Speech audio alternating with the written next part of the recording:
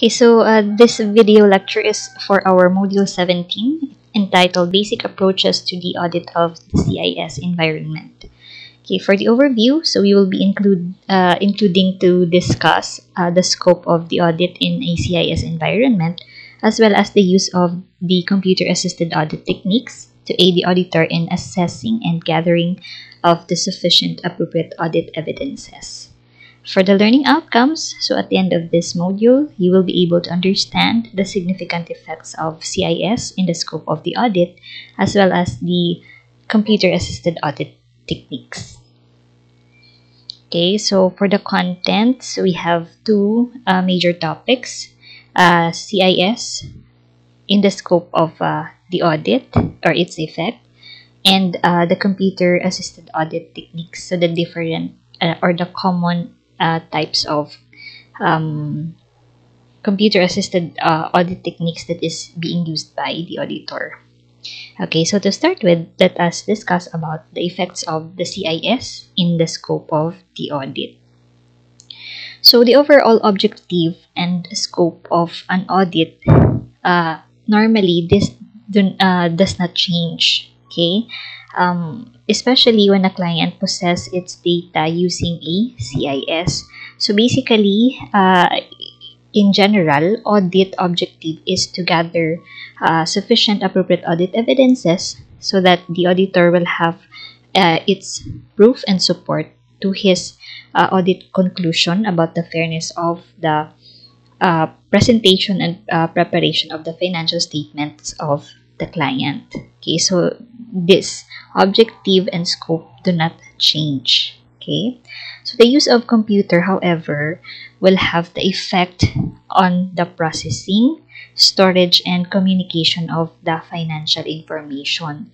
And this may affect, affect also the internal control systems that is uh, employed or uh, established and maintained by the entity in the following areas. Okay, so basically, um, there is uh, some differences between the manual or the usual uh, audit uh, when an entity do not use the computer okay and when an entity is using the computer in processing storing and um, preparing their financial information so first, the auditor's procedure in obtaining a sufficient understanding of the system of the internal control. So basically, internal controls in ICIS is quite different from that of uh, the manual system. So the auditor in this case should have the understanding of uh, how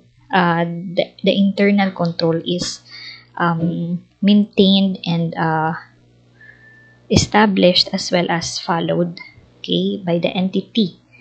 So this is very important so that the auditor will know if the internal control indeed will detect um, correct and uh, prevent the misstatements. Okay. Another change is um, on the risk of material misstatement through which the auditor arrived at the risk assessment. So in this case, uh, again, he will base this risk assessment on the status of the internal control as well as the other uh, factors that uh, the auditor think is important okay, in the assessment of risk. And another is the auditor's design and performance of the test of controls, okay, as well as the substantive procedures which he thinks is appropriate to meet the audit objectives in the case of a CIS environment. Okay, so those are uh, the different areas where the auditor will expect some changes uh, or difference between the manual and um, an entity which uses computer in the processing, maintaining, and preparing or storing their financial information. Another is uh, sufficient knowledge also of the CIS is needed. So this is very important for the auditor uh, because he has to plan, direct and supervise and also review the work that he is going to perform and make sure that these procedures are um, appropriate okay, in the CIS environment in obtaining uh, sufficient appropriate audit evidences. So the specialized uh, CIS skills may also be required okay, of the auditor, particularly in the following areas. So he has to obtain sufficient understanding of the internal control uh, that is part or covered in the CIS environment. So we've mentioned this in the previous uh, slides, okay, where in this case the auditor should have uh, the understanding of such. That's why in our previous module you ha you have um, noticed that uh, there was an introduction about uh, the basic uh, concepts in computer. Okay, so this is what the auditor should also know about the entity. Another is uh, he should determine the effect okay, of the CIS environment on the assessment of the overall risk okay, at the assertion level. Okay, because in this case, there are uh, risk also that is associated uh, when in when an entity okay, uses computer. So we mentioned this like uh, the absence or lack of audit trail and so on okay or authorization of uh, the transactions and the like. Another is designing and performing the appropriate uh, test of control as well as the substantive procedures which are um, that which are suited and fit in a CIS environment. Because the auditor cannot uh, perform the audit procedures that is uh, applicable for manual system in the CIS environment.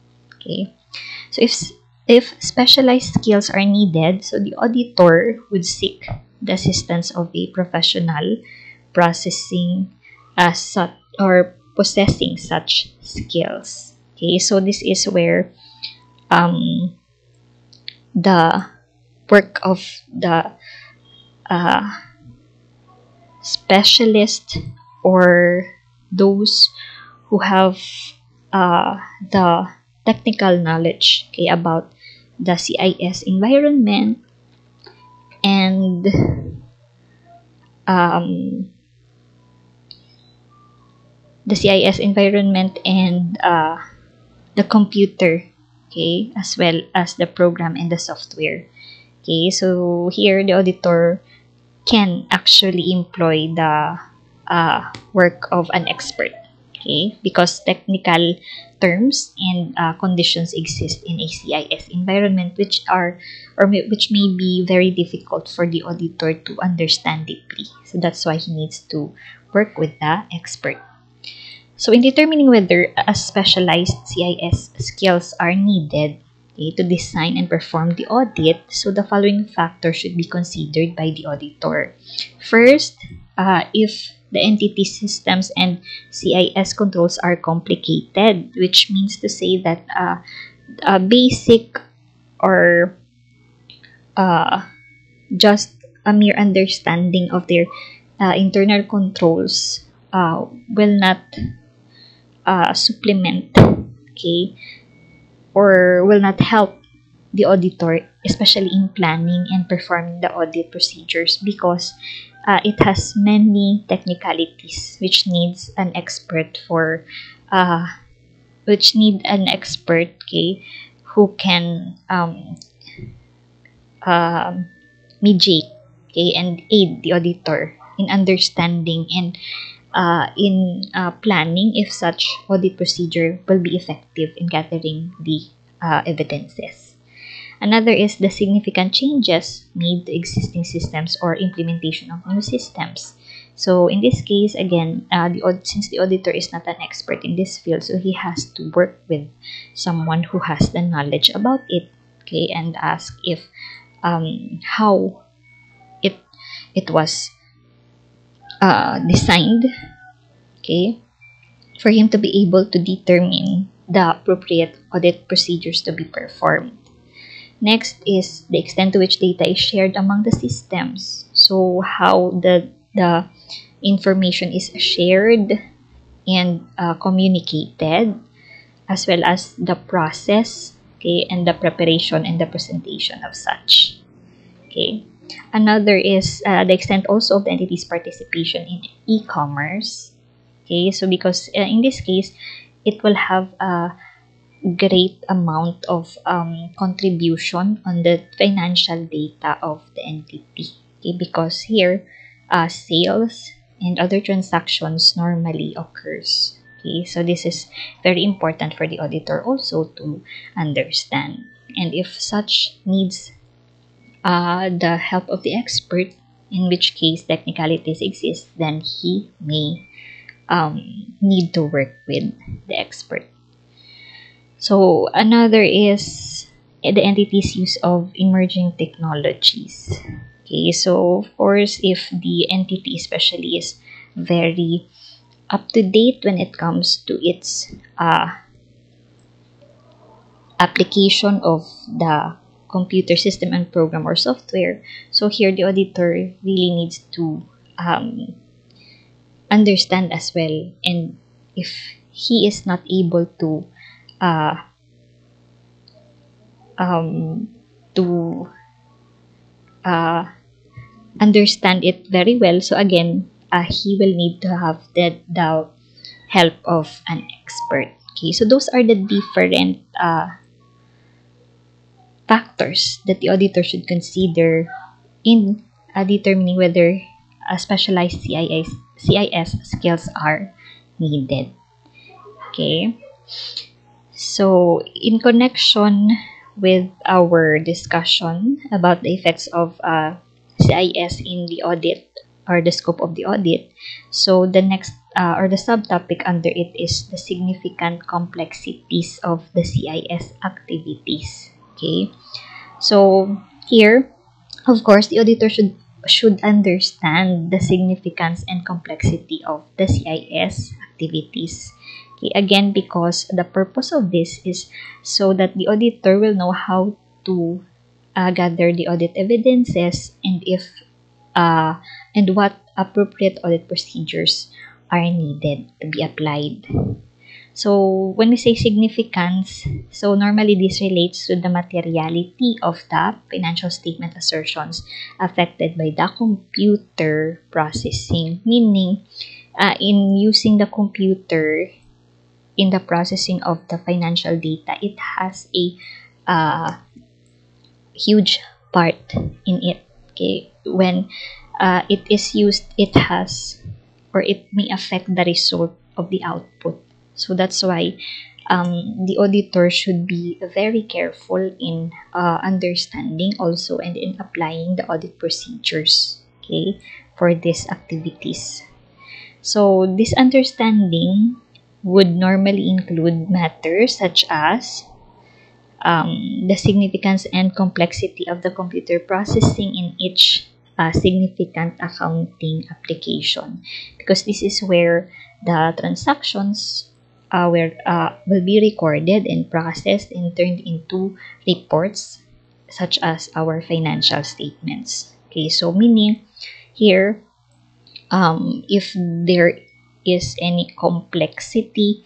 So most probably um, misstatements may exist like uh, it may be caused by some errors in the inputs or fraud if that is intentional okay another is an application may be considered to be complex when the volume of transactions is uh, very difficult to identify and if there are errors um, it is also difficult to correct it in the processing.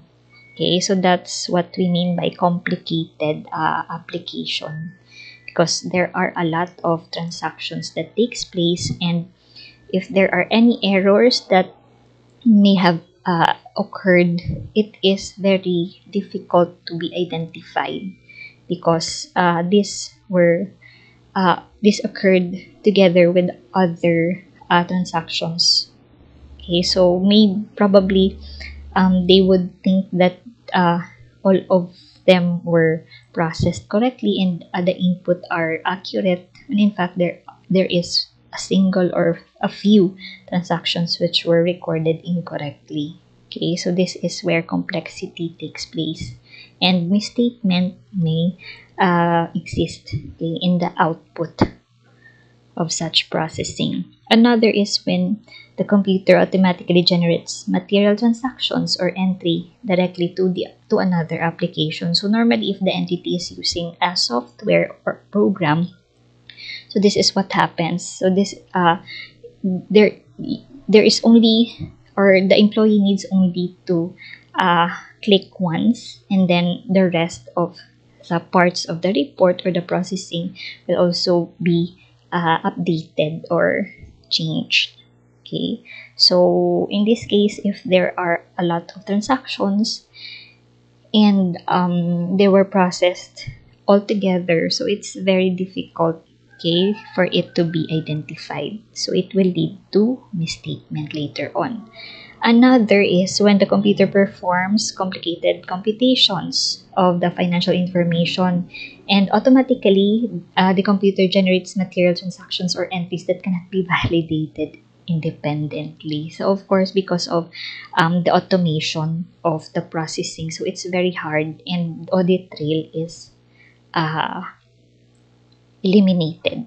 So that's why uh, misstatement may occur that may not be corrected or identified.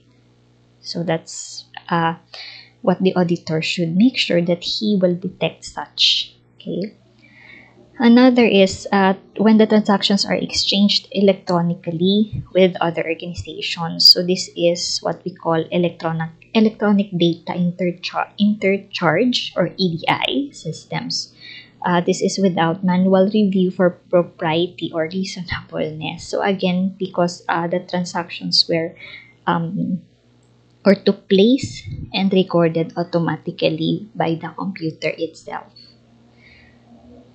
Another, uh, so the understanding would also include uh, the organizational structure of the client CIS activities as well as the extent of the concentration or distribution of the computer processing throughout the entity. So how or who are the persons involved and if their responsibilities and duties do not overlap or there is a segregation of duties to avoid any uh, possible fraud okay, that may exist.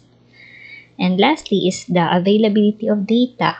So source documents, uh, certain computer files and other evidence that may be required by the auditor may exist for only a short period or only a machine readable form.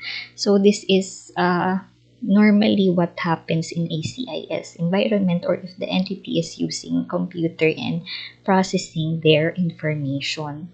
So again, uh, audit trail and no uh, source documents exists.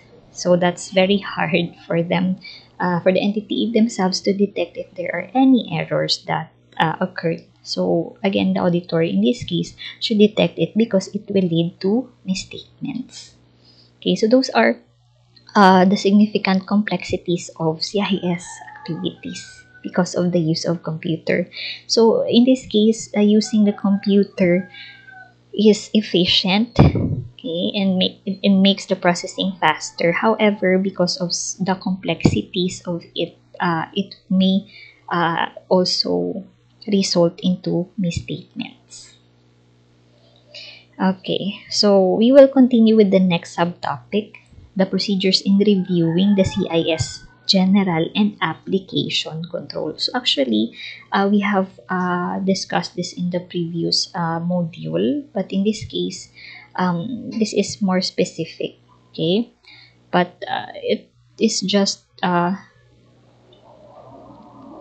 uh, we will look into the CIS uh, environment and how the auditor should uh, consider okay, such uh, controls.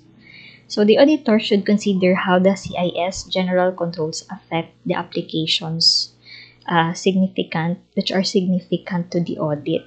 So accordingly, uh, it may be more efficient to review okay, the design of the entity's general controls before reviewing the application control. Okay, so this is the premise. Okay, before the auditor should uh, perform okay, the next uh, task in understanding the procedures okay, of such control.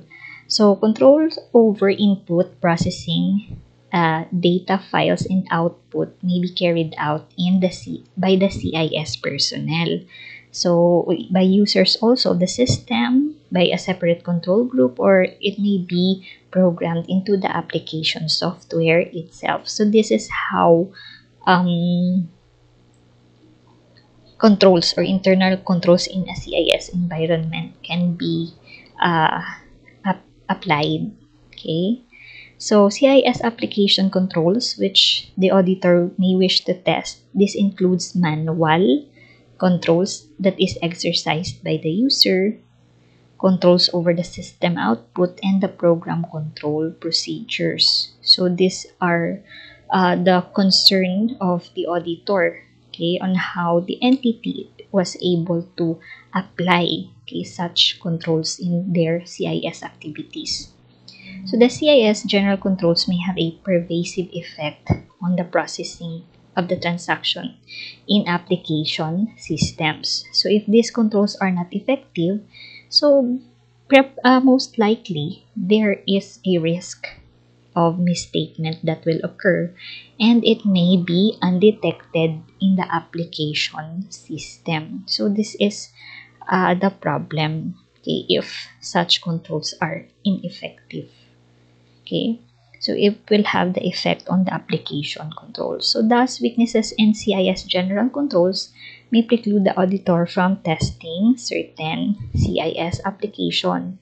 Uh, nevertheless manual procedures exercised by users may provide effective control. So it will depend on the situation and the assessment of the auditor later on okay so in this case, in reviewing again the CIS general and application controls, it is very important to note that the auditor should first understand the general application because whatever may be the status of the general application may also affect the uh, general control, I mean, may also affect the application controls. So that's how uh, the auditor should do uh, in understanding and reviewing these internal controls in the CIS activities of the entity.